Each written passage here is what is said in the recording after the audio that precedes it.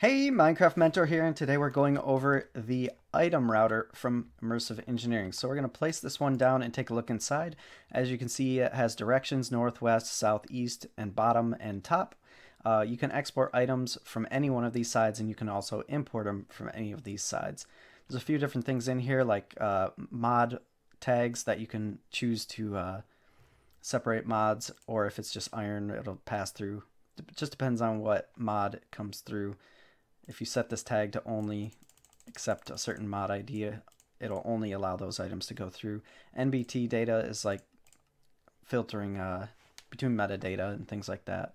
This one is the item uh, damage, which is pretty self-explanatory. Uh, it'll ignore if a bow has been damaged or a piece of armor if you're trying to filter things like that from a mob farm.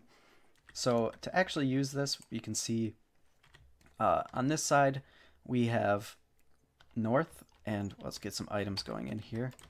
When they come in here and there are no filters set, they're just going to randomly go out whatever side they want to.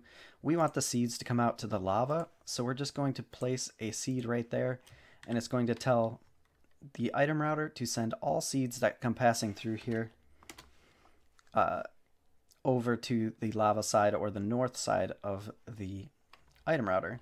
I mean, next, if you get something like redstone coming through here or another item, we want that redstone to go somewhere else besides down in our silo where we want our industrial hemp. So pretty straightforward. We're going to, uh, let's grab some redstone, place it on the top filter, and now all redstone that comes through the item filter is going to go up instead of straight through. Now, if there is no filter here on west, whatever items come through here, it's going to go through. So we also want to set a uh, router for that. And we can throw our industrial hemp so it'll only allow industrial hemp to come through here.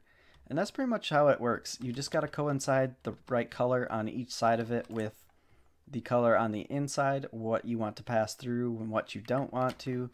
Uh, things that you don't want to, generally, you just want to void them out or send them into a chest to be used somewhere else. And uh, that's it for this one. If you found it helpful, like, comment, subscribe.